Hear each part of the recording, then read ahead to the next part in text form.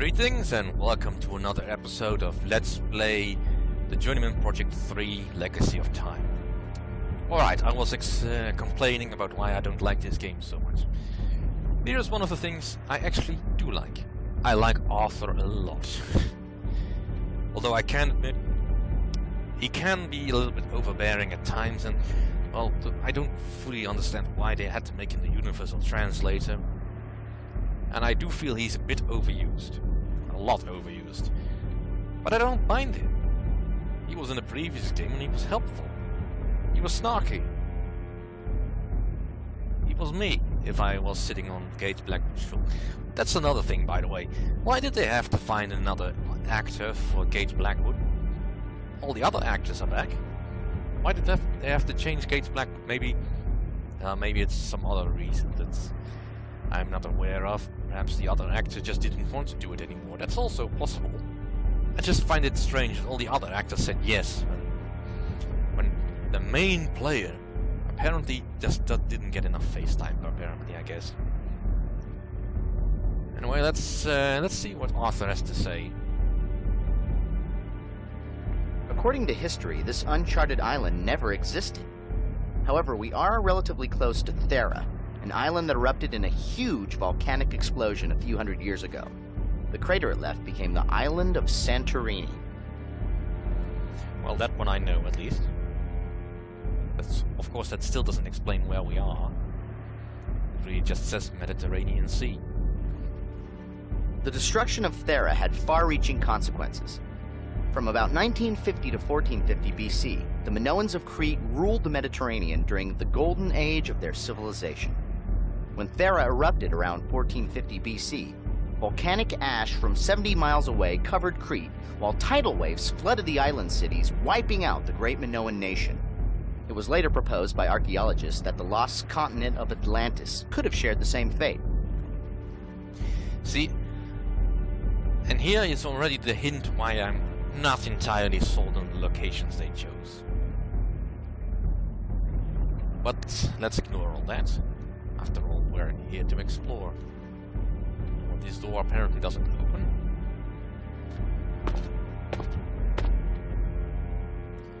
Now, I like the controls here a lot.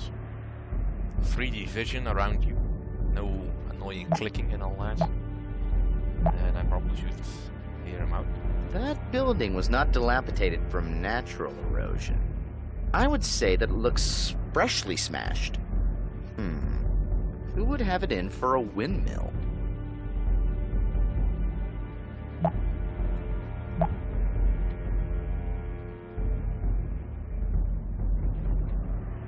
Come on. Don't look now, but that broken windmill is staring you down. You're no Don Quixote, but I think you can take it. Yeah, let's not go into the mill just yet.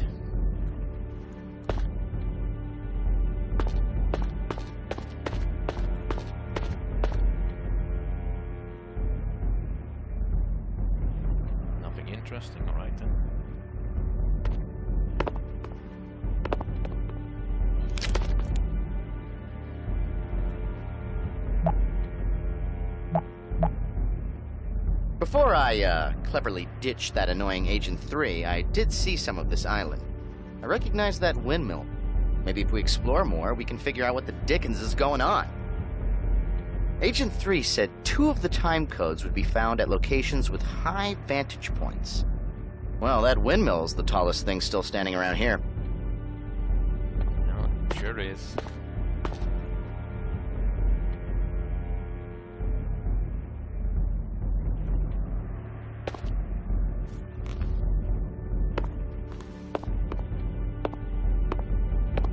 That derelict boat seems to be in a hurry to leave the island. Hold on, there's somebody on that boat. He looks familiar. Call me time space happy, but I swear that's Dr. Elliot Sinclair, the scientist who invented time travel. The guy you put away for 10 to 20 at Vega Thowlin. He could be Sinclair's distant cousin. You know what that means. Baldness is hereditary. Alright, that's jumping the shark just a bit. Here's where we came. That rope ladder is like one of your modern ladders in many respects, only more rope-like. Yeah, alright, let's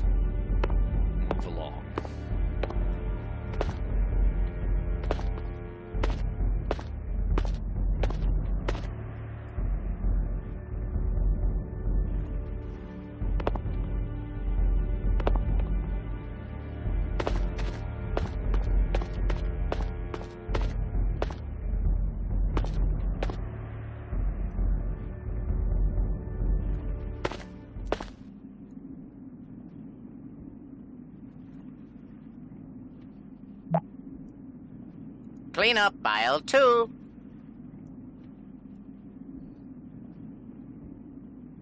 I'm trying to find all of the conversation notes Arthur has, but oh well, some things you just can't find. Don't want to use the uh, hint, because I already know what I have to do. I need to get upstairs. Uh, unfortunately, the stairs are broken. And now I can't find my way around. Come on.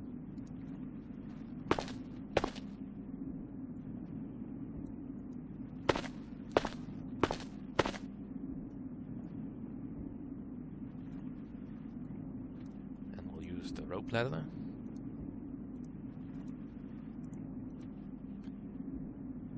Yeah. The inventory system will sometimes glitch out. It's mostly to do with the mouse movement, I think. Uh, but uh, at least items are useful again.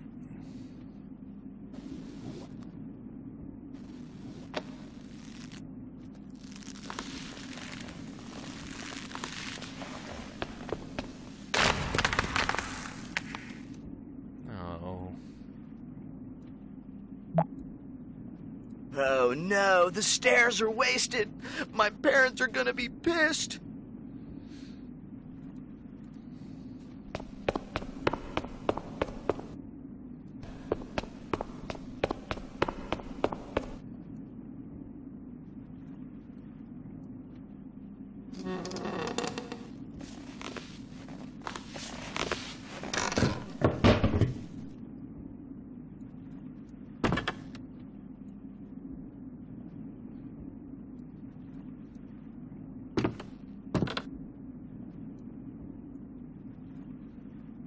Nope, nothing to see here.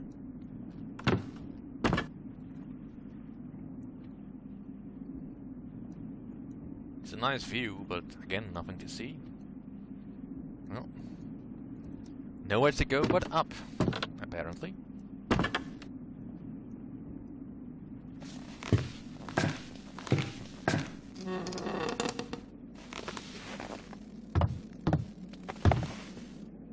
This island isn't deserted, it's been attacked.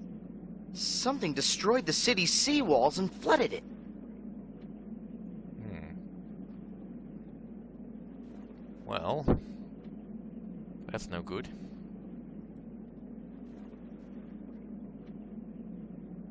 Oh, looks like a storm's coming. Or rather, looks like nasty weather.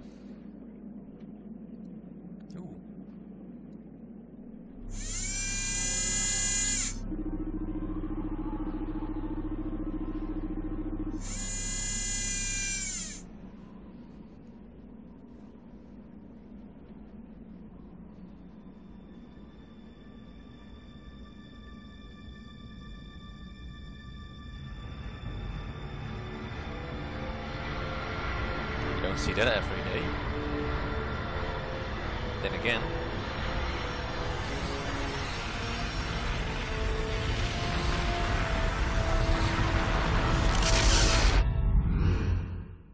That Cyrolan ship completely leveled that building.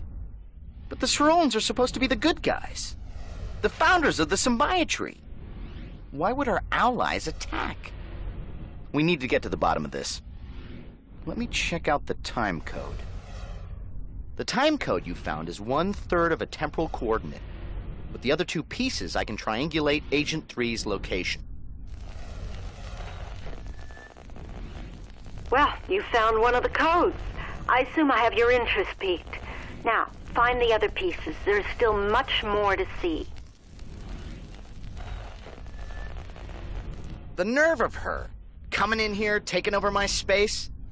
Next thing you know, she'll be cleaning up my workbench.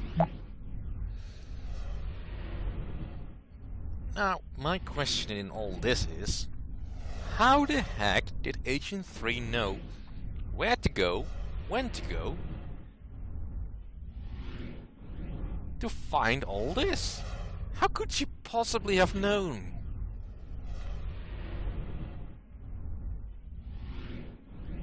We're in a null time pocket Gage. If this place was a verb, it would be regurgitate. Agent 3 and I discovered it when we were thrown into the time stream. Not a terribly exciting place to honeymoon, but I figured it was safer than where we just were. Gage, I think you're good for about 900 more flushes. Gage, help! We're trapped inside your screensaver!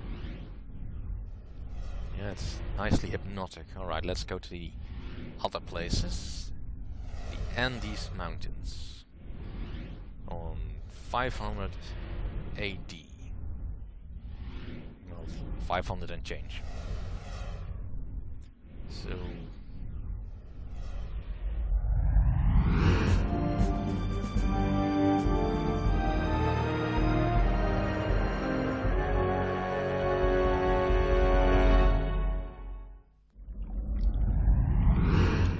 Either Agent 3 has sent us to languish in a deep well, or we shrank into your turtleneck.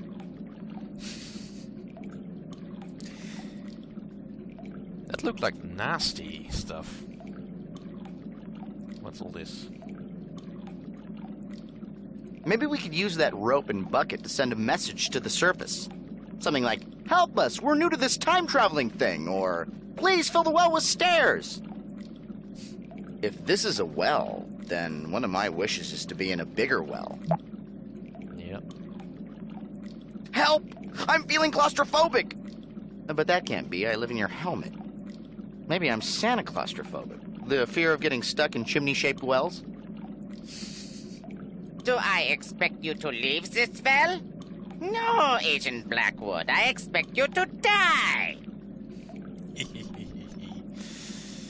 uh, Alright. Let's move the rock out of the way. And then unleash the water!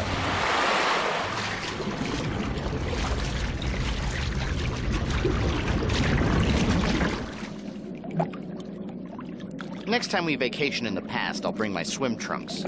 So what's next? Bungee jumping off the pyramids? Bull leaping in Crete? Nope, getting out of this well.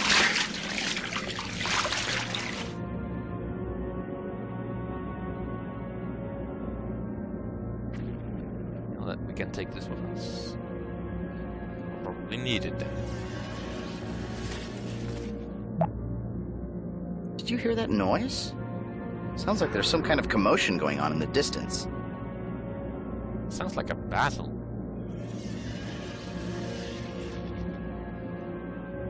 Or someone is playing generic science fiction sound effects. Part 2.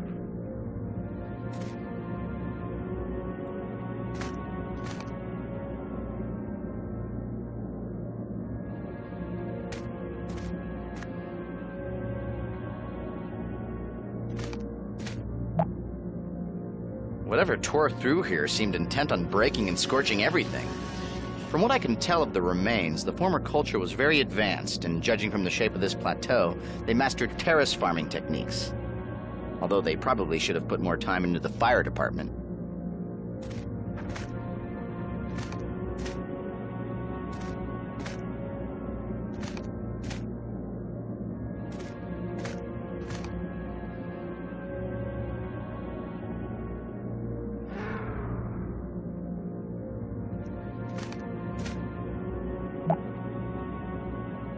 Gage, another basket case. Nothing so big we can't put it in our pocket.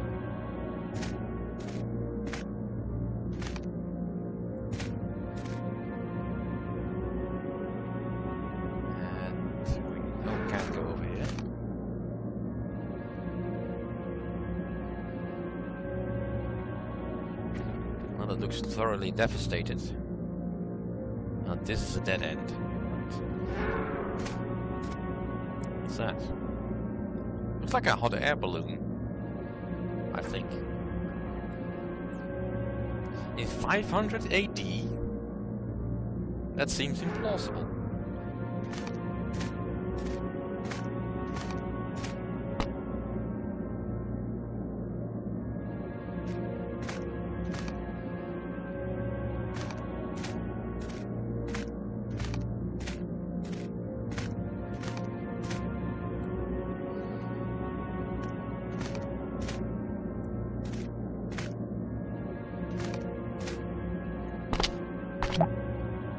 How typical. Every time we go to a theme park, all the good rides are closed. For once, I'm at a loss for words. I can't think of a reason why those pinatas are here. Pre Columbian South American cultures were never really known to be avid balloonists. But then again, according to my knowledge of this time period, there was no record for this civilization. So it's another lost civilization, you say? The balloon closer to the ground appears to have been damaged. I can see that the higher balloon appears to be in better shape. It has an attached gondola. With the attached baskets, the natives could have used these balloons for transport. Yeah, that's what pretty much everyone else uses them for. Alright, what are we looking for?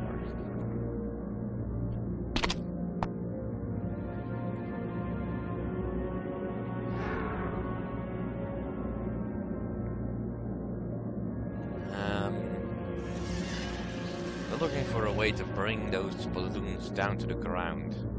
How do I do that?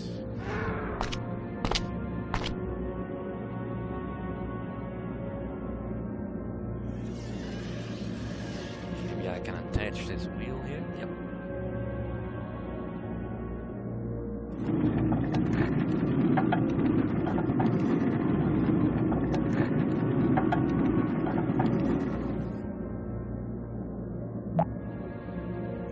Exactly the prettiest balloon, but it definitely maybe should fly. Oh my kidding, this baby's going down.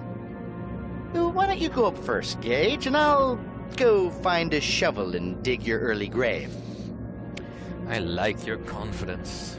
But luckily, I have a basket.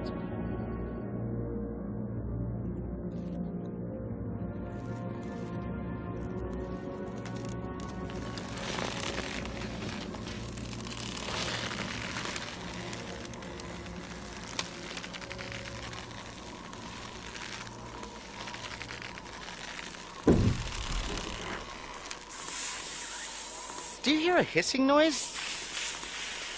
Yes, I'm quite aware of how annoying that is. the guy doing the voice for Arthur must have had so much fun doing this particular game. Now try not to think about the height gauge. We're only a hundred feet up. Just breathe deeply and sob into the in-flight magazine. And here we are in the skies, risking our very lives, waiting to observe disgusting mating patterns of the South American wallow wallow swallow. Mm-mm, hubba hubba. You know, being up this high in a hastily constructed, barely navigable flying balloon, and knowing that you've never had a flying lesson, really puts things in perspective, Gage. I found that being hundreds of feet in the air makes me twice as frightened.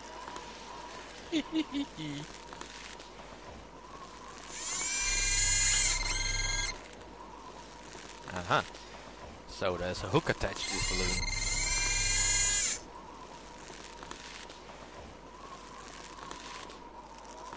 Let's use our invisible hands. Pull up the hook.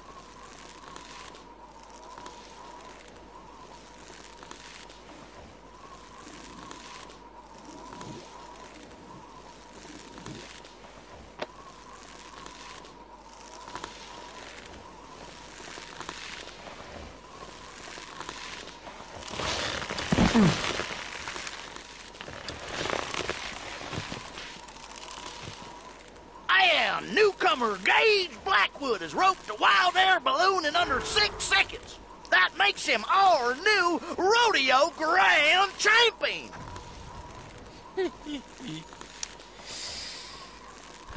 I will see you all next time.